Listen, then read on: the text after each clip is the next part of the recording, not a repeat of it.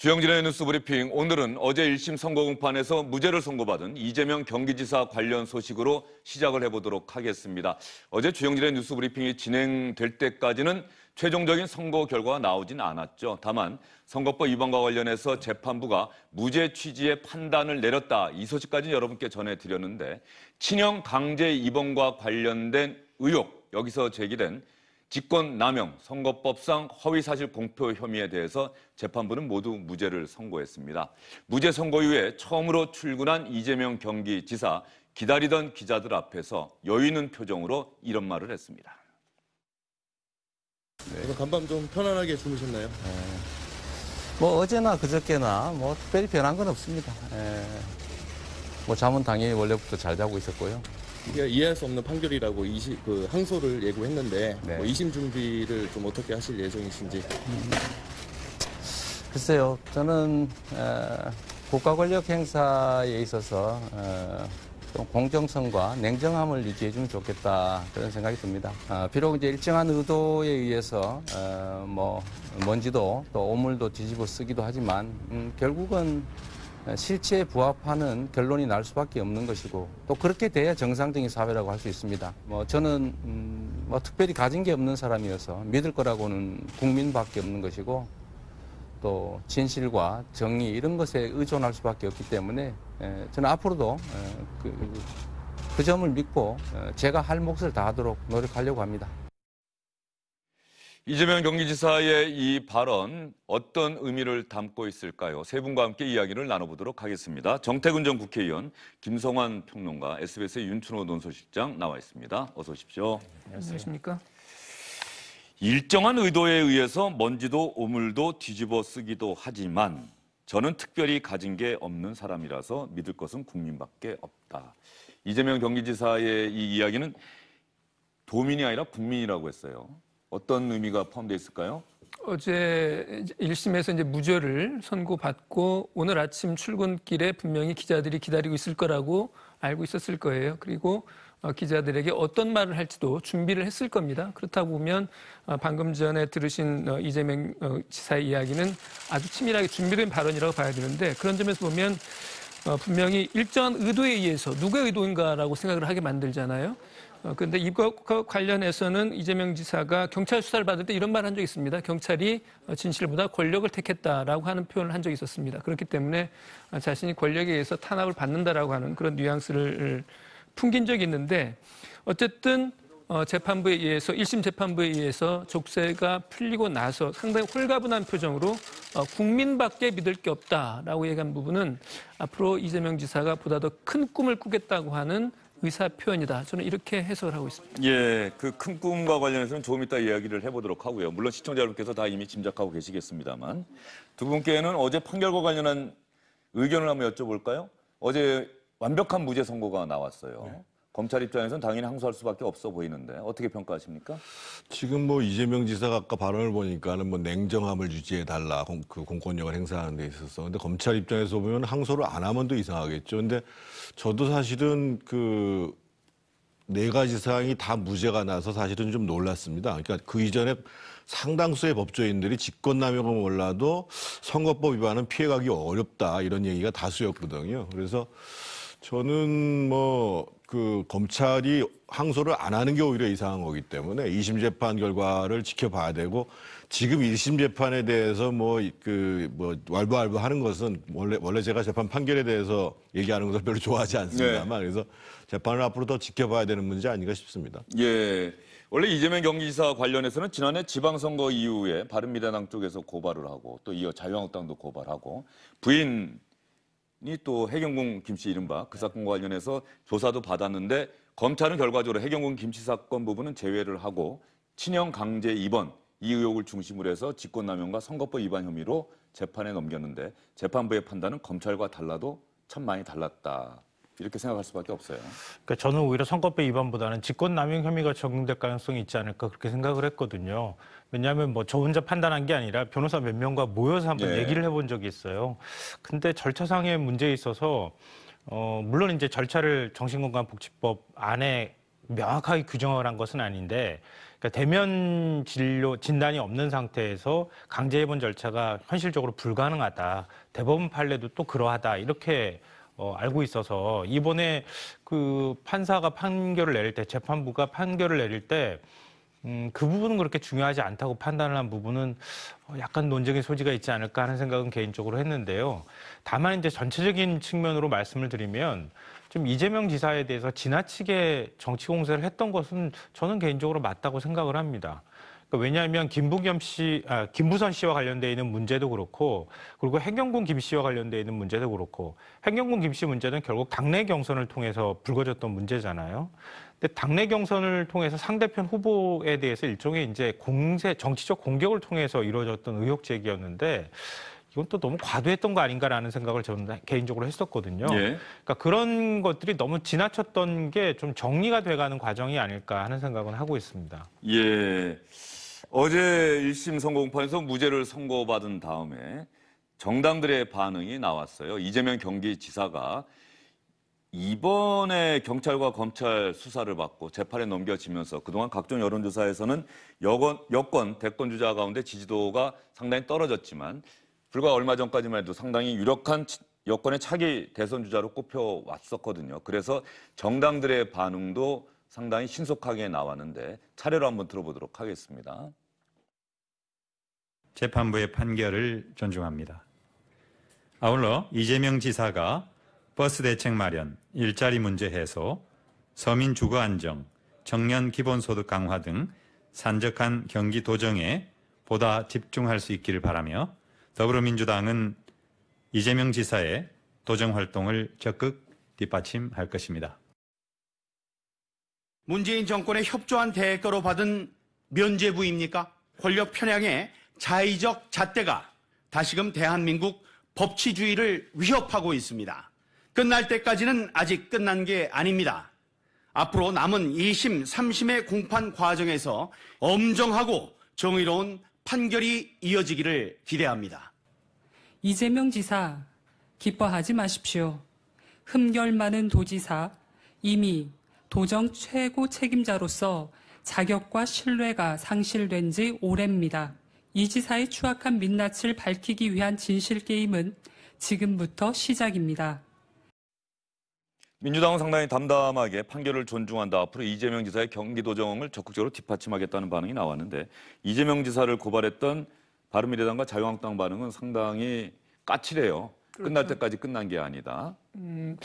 이제 이걸 만약에 이재명 지사가 유죄를 받고 만약에 그러니까 지사직을 상실할 수 있는 그런 판결이 나왔다고 가정을 해보면 어, 민주당으로서는 큰 타격일 거예요. 지금처럼 어, 전반적인 뭐 국민들의 여당과 청와대를 바라보는 정서가 좋지 않을 때 어, 경기지사라고 하는 자리를 만약에 다시 보궐선거를 해야 되는 상황이 된다고 그러면 어, 정권으로서는 큰 부담이 될 테니까 어, 그런 면에서 보면 민주당이 환영하는 것은 뭐 당연하다고 봅니다. 특히 어, 내년 총선을 앞둔 상황이기 때문에 어쨌든 경기지사 부분이 안, 어, 정제됐다고 하는 부분은 의미가 있을 것 같은데요. 어, 민경욱 대변인의 이야기는 좀 이상하게 들려요.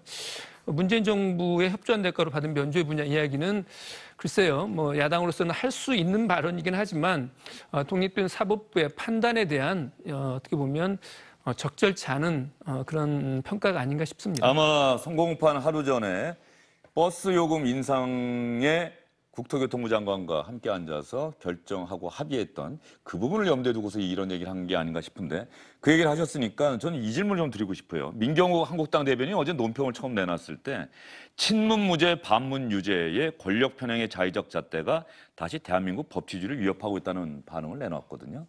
이재명 지사의 정치적 정체성에 대해서 민경욱 대변인이 좀 잘못 알고 있는 게 아닌가 싶은 생각이 좀 들어요.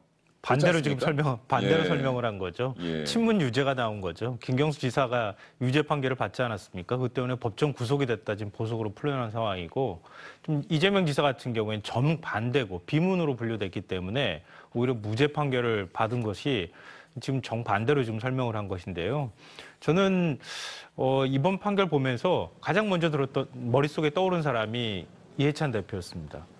왜냐하면 이해찬 대표가 지난해 12월에 검찰에서 기소했을 때 이재명 지사를 출당시켜야 한다는 요구가 굉장히 많았거든요. 그때 출당 조치를 지키지는 않았어요. 그러니까 이재명, 이재명 지사 스스로 당원권 정지하고 어, 뭐 이렇게 하면서 자기 스스로가 권한을 내려놓는 방법으로 선택을 했는데 만약에 그때 출당을 시켰더라면 이번에 1심 판결이 나오고 난 다음에 어떤 일이 벌어졌을까 그런 생각이 제일 먼저 들었거든요. 예, 그래서 어제 민주당이 당원권을 내려놓겠다고 했는데 민주당에서 그런 당원권을 회복시키는 조치가 있느냐라고 했더니 뭐 특별히 당 차원에서 할 일은 없다 그러더라고요. 본인이 스스로 네, 당원권을 행사하면 된다 이렇게 얘기를 당 하더라고요. 차원의 징계를 하는 것은 예. 아니었기 때문에요. 본인 스스로가 부담스러운 상황이 됐으니 당에서 한동안 거리를 좀 두겠습니다라는 측면이었는데요. 그러니까 지금 이재명 지사 판결이 그동안에 굉장히 관심이 많았던 게 사실은 어, 야권 입장에서 관심을 많았던 측면도 있지만 이 여권 내부의 문제에서 더 관심이 많았거든요. 그러니까 친문 비문 간의 갈등이다. 이재명 지사를 두고 친이다, 이재명이다, 반이재명이다 이렇게 갈려버렸거든요. 그런데 만약에 이재명 지사를 출당시키거나 징계를 줬더라면 또 다시 당내 갈등이 일어났을 가능성이 매우 높다. 그러니까 뭐 이해찬 대표의 전략적 인내라고 해야 될까요? 일단 그 인내가 지금에 있어서 이재명 지사의 어, 정치적 입지를 다시 세우고 당에 있어서 대권 주자를 다시 한번 어, 버리지 않는 그런 결과로 이어졌다고 하는 좀 주목해 볼 필요가 있다고 생각합니다. 예, 이재명 경기지사가 그러면서 보면은 상당히 독특한 정치인이다 이런 평가를 받고 있는 게 이해가 되기도 해요. 어떻든 뭐 이번 재판 결과는 상당히 드라마틱하지요. 근데 우리 정치권이 항상 이 판결이 나오면 자신들한테 유리하면 뭐 현명한 판단이라고 그러고 자신들한테 불리하면 무슨 뭐 법치주의를 위배한다고 그러고 저는 좀 안 그랬으면 좋겠어요. 예를 들면 아까 민경욱 대변인 앞으로 2심, 3심이 남아있는데 지켜보겠다. 이재명 지사는 본인으로 인해 가지고 도정에 엄청나게 손해를 끼친 거에 대해서 반성해라. 그거 뭐 끝나는 얘기거든요. 예. 왜 사법부를 가지고 걸고 넘어져요? 반대로 민주당도 이전에 판결할 때 보면 보세요. 그래서 저는 대변인들이 모든 사건에 대해서 상대방을 공격하는 방향으로 이 습관적 논평을 내는 거 고쳐야 됩니다. 언제부턴가 우리 사법부에서 정치적으로 상당히 큰 관심을 받았던 재판이 끝나면 그 판결을 내린 판사에 대한 이야기가 꼭 기사가 나오더라고요. 예전에는 없던 현상인데 지난번에 뭐 김경수 경남지사에 대해서 유죄 선고를 내렸던 판사가 누구냐 이런 기사도 나왔는데 이번에도 또 무죄 선고 내린 판사가 또 누구냐 뭐 이런 기사를 저도 본 기억이 있는데 혹시 보셨습니까? 임춘호 예, 시장? 뭐 저도 이제 그 기사를 봤습니다. 그래서 그 기사 아, 그 판사가 누군지도 저도 한번 찾아봤는데요. 뭐 제가 여기서 그, 부- 그 판사 최창훈 판사의 뭐 신상에 대해서 말하는 건 뭐 그렇게 썩 유의미할 것 같지는 않아요. 유의미할 것 같지는 않은데 어 저는 다만 판사가 굉장히 어, 어떤 의미에서는 정책인 판결을 하지 않았나 하는 생각도 했습니다. 뭐냐면 이 판결로 해서 판결이 만약에 아, 이럴 수도 있고 저럴 수도 있어서 아, 반쯤은 유죄고 반쯤은 무죄라고 하는 식으로 어, 판결을 쓴다고 그러면 이 논란이 좀 좀 더 커질 수도 있기 때문에 어떻게 보면 어, 전반적으로 봐서 이건 확실하게 좀 판정을 해줘야겠다라고 생각을 한 게 아닌가 싶긴 해요. 그런데 어, 앞에서도 이야기하신 것처럼 이번은 1심 판결입니다. 1심 판결일 뿐이고 2심 판결이 3개월 이내에 나오도록 돼 있어요. 아직도 제가 볼 때는 이재명 음, 지사가 가야 될 길이 전 아직도 많이 남아 있다고 생각합니다. 예, 이 최창훈 판사가 상당히 이번 판결이 끝나고 나서 또 기사도 많이 나오고 있고 그런데 어떤 면에서 보면은 이제 판사들이 어떤 판결을 하든지 간에 세상 사람들이 그 판사도 주목하고 있다. 뭐 이런 게 아마 시대적 변화의 흐름이 아닐까 싶습니다. 그런 것들이 또 판사가 판결을 하는 데 있어서 긍정적으로 작용했으면 좋겠다는 생각이 들고요. 이재명 경기지사 정치인이기 때문에 주영진의 뉴스브리핑 정치권 코너에서 1심 판결에서 무죄 받은 이 소식을 여러분께 자세히 전해드리고 있는데요. 어제 무죄 선고 직후에 법원을 빠져나와서 성남지원 앞에서 이재명 지사가 했던 이야기를 다시 한번 들어보도록 하겠습니다. 먼저 사법부가 인권과 민주주의의 최후 보루라는 사실을 확인해 준 우리 재판부의 어, 깊은 감사와 어, 존경의 마음을 표합니다. 아, 우리 도민들께서 어, 저를 믿고 어, 기다려 주셨는데 제가 우리 도민들의 삶을 개선하는 큰 성과로 반드시 보답드리겠습니다. 앞으로도 서로 함께 손잡고 큰 길로 계속 함께 가기를 기대합니다. 향후 검찰의 항소가 예상됩니다. 어떻게 대처할 계획이십니까?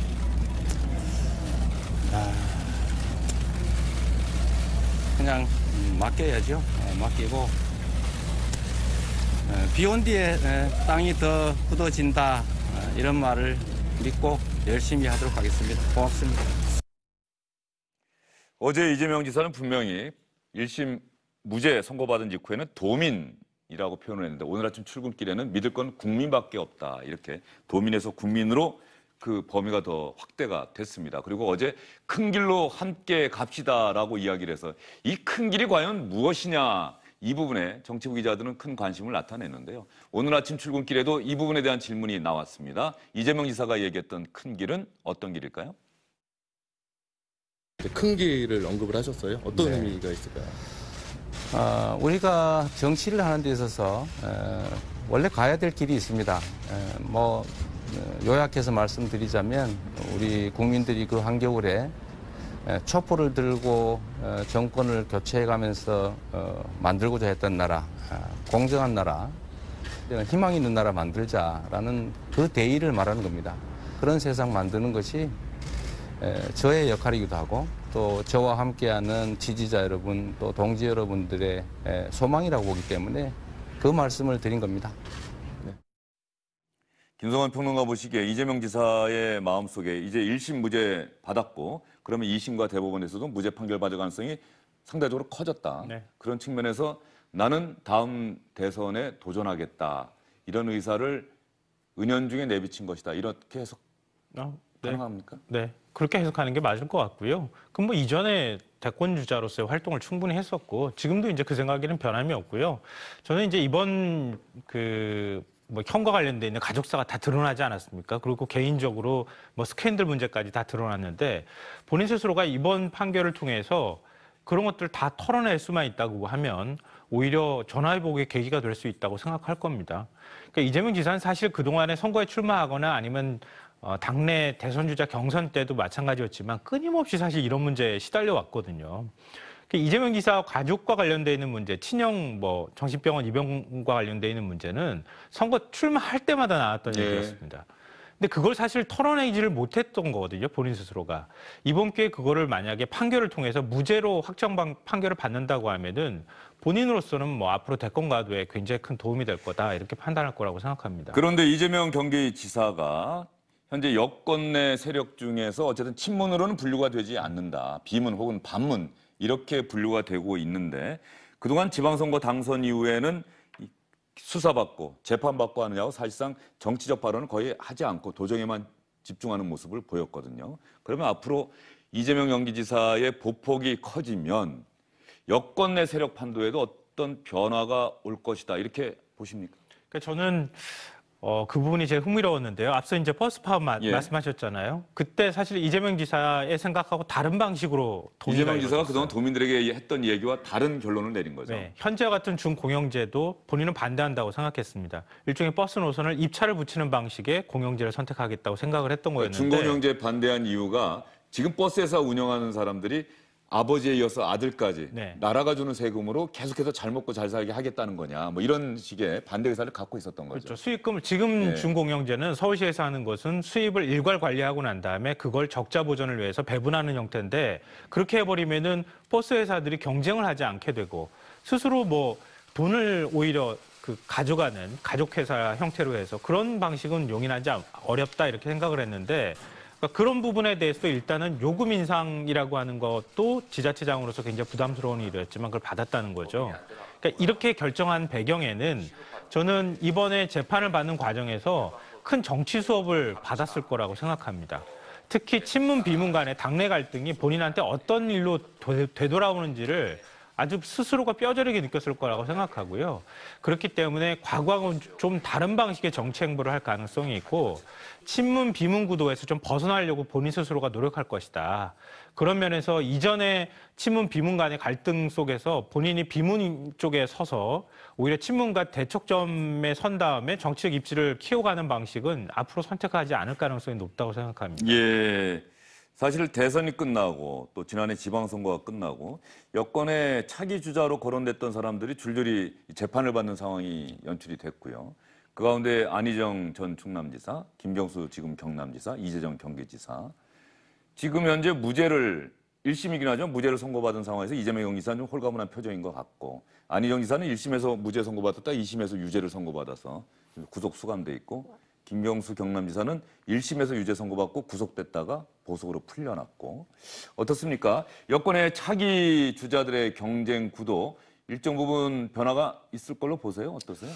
여권의 경쟁 구도는 사실은 본인들의 역량도 뭐 일정 부분 영향을 미치고 본인들의 처지도 영향을 미치겠습니다만 기본적으로 문재인 대통령의 상태가 어떠한가 소위 그 문재인 대통령이 현재와 같이 45% 내외의 지지율을 유지한다고 봤을 때에는 제가 보았을 때는 이재명 지사한테 차기는 없을 것 같거든요. 그런데 만약에 40% 이하 30%대로 내려간다라고 하면 그러면 이제 당내 의원들도 아 내년 총선은 어떤 방향으로 도, 돌파할 것인가 그리고 차기를 내다볼 때에도 아 친문 색채가 좀 덜한 사람이 오히려 긍정적인 요인이 되는 것이 아닌가라고 할 수 있는 거거든요.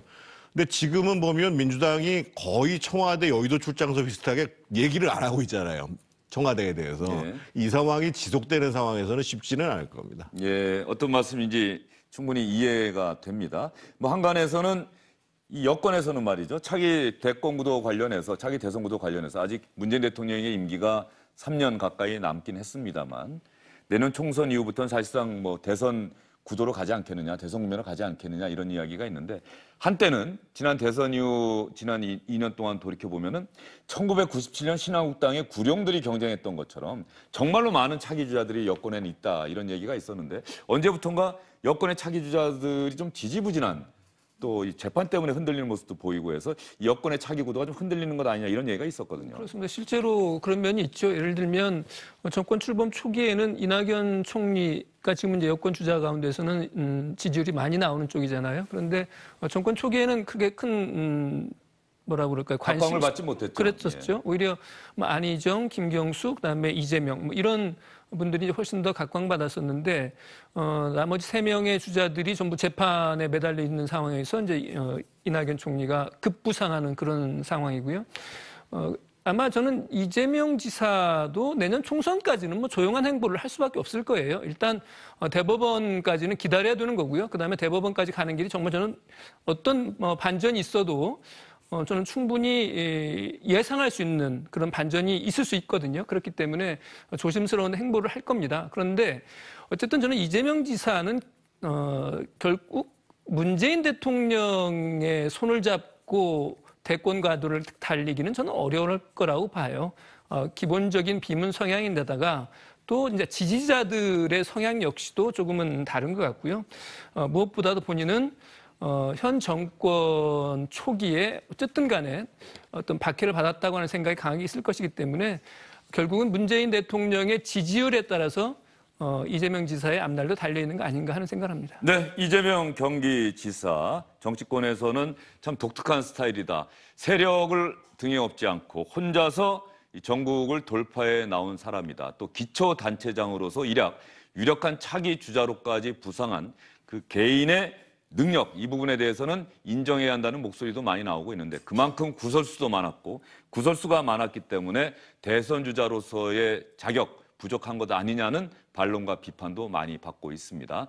대법원까지 판결이 갈 것 같은데 과연 1심의 무죄 판결이 계속해서 유지가 될지 2019년 한 해는 여권의 차기 주자로 거론됐거나 거론되고 있는 유력한 정치인들의 대법원 판결까지 나오는 그런 한 해가 될 것 같습니다.